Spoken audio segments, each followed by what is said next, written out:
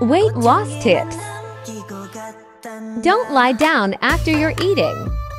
Chew your food properly. Eat slowly. Don't eat too much. Drink 2 to 3 liters water daily. Don't skip meal. Count your calories. Be sure to work out daily. Thanks for watching. Don't forget to like and subscribe.